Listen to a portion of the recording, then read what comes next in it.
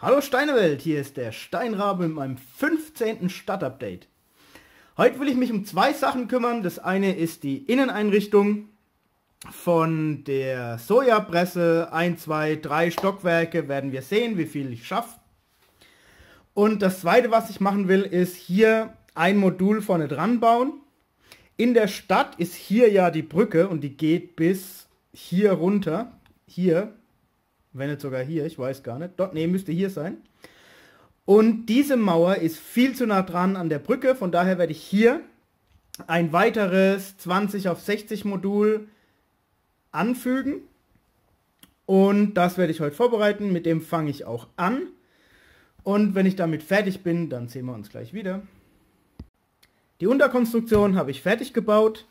Ich will euch die nochmal so offen zeigen, wie sie hier da ist da ich das ja bei, dem, bei der Sojapresse aus Versehen gelöscht hatte, nur damit ihr seht, wie der Fluss zustande kommt. Hier mit einer Schicht blau, einer Schicht unsichtbar, dann kommen oben noch die dunkelblauen Trans, Trans Dark Blue Fliesen oben drüber. Das hier wird auch zugemacht, das ist relativ schnell passiert.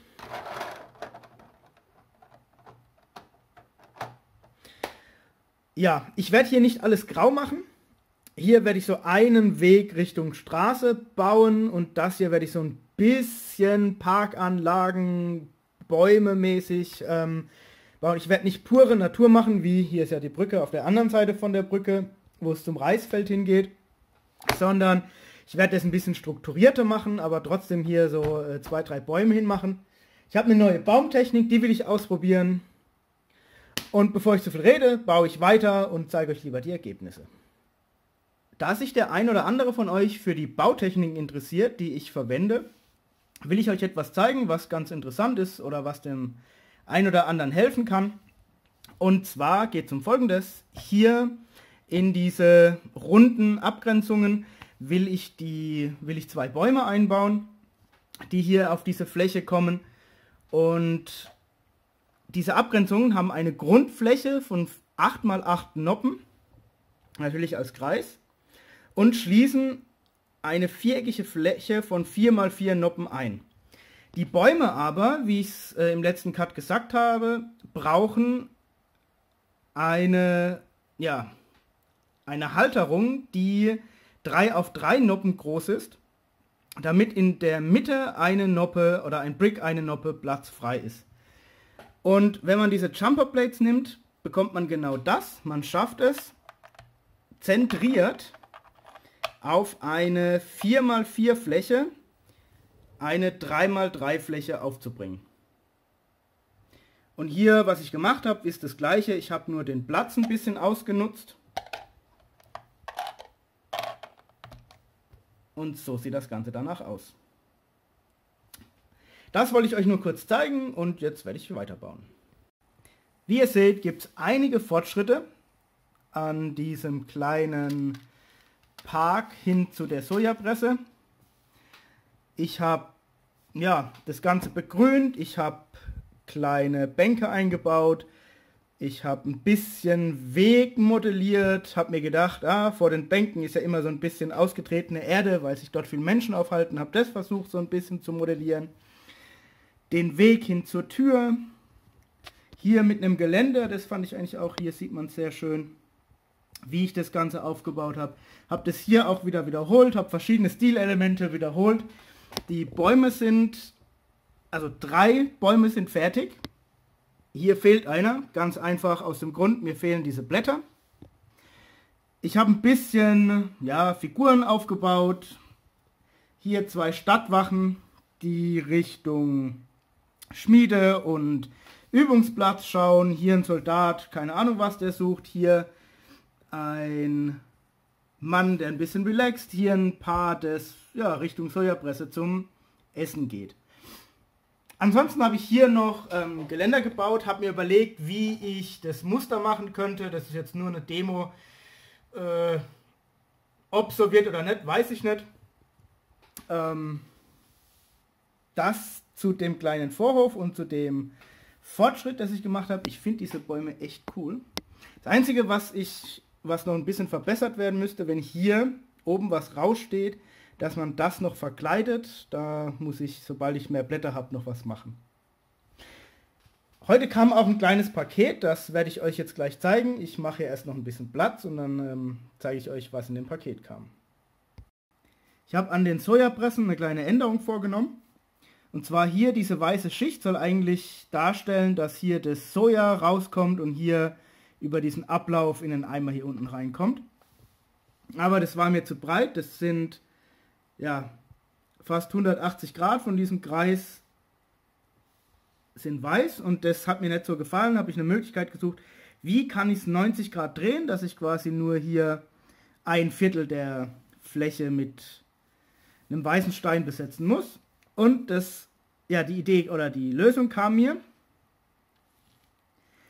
Ich habe hier auf diese Eckteile eine Schicht Platten gesetzt, beziehungsweise Fliesen. Und hier in die Mitte eine Fliese mit einem Stud in der Mitte. Und so habe ich jetzt eine Auflagefläche wo ich das hier anstatt gerade um 90 Grad gedreht draufsetzen kann. Das Oberteil drauf. Und so finde ich, sieht es gleich viel besser aus. Die Pressen sind eingebaut, sehen auch ganz gut aus. In der Mitte ist eine, wo nichts gepresst wird, steht auch kein Eimer davor. Aber was ich euch eigentlich zeigen wollte, das Erdgeschoss der Laden ist fertig. hier verschiedene ja, Kisten mit Soja, wo man sich Dinge abschneiden kann. Hier fermentiertes Soja. Ich hätte gern so eine, ja, so eine Metzger, Metzger-Axt oder so ein Metzger-Messer gehabt, aber leider hatte ich nur eine Axt, um hier zu zeigen, dass man hier mit so einem Gerät das Zeug auseinandernehmen kann und portionieren kann. Und dann habe ich, den zeige ich euch, weil es vom Winkel nicht herklappt, noch so einen kleinen Schrank in den Hintergrund gebaut, in dem, keine Ahnung, alle möglichen Dinge drin sein können, die der Laden auch noch verkauft. Vielleicht irgendwelche Papiertütchen, die es damals schon gab, um das Ganze abzupacken. Vielleicht irgendwelche Tees, die zusätzlich noch verkauft werden. Was auch immer. So, ein bisschen äh, Vorratshaltung. Hier geht es dann die Treppe hoch. Figuren habe ich derzeit noch keine, die ich da reinstellen könnte. Muss mir noch überlegen, was ich mache. Aber ich denke, das werde ich in einem Rutsch machen, das ganze Ding ein bisschen zu beleben.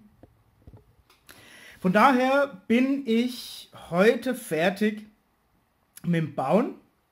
Ich kann euch wieder keine Übersicht über die Stadt zeigen, aber als letzten Take werde ich euch etwas anderes zeigen, denn ich habe mein Platzproblem quasi gelöst. Hier seht ihr die Lösung von meinem Platzproblem. Ich bin umgezogen vom Esstisch auf einen eigenen Tisch, wobei das tatsächlich nur die Hälfte ist. Mein Vater und ich, wir sind unter die Schreiner gegangen, haben diesen Tisch gebaut, bauen eine zweite Hälfte des Tisches, der hier noch hinkommt. Das heißt, wir werden knapp dreimal so viel Platz haben, denke ich, wie vorher. An der dicksten Stelle war der Esstisch circa so dick. Und ähm, ja, um das Ganze aufzubauen, waren quasi alle Teile, hatten ein bisschen Überhang.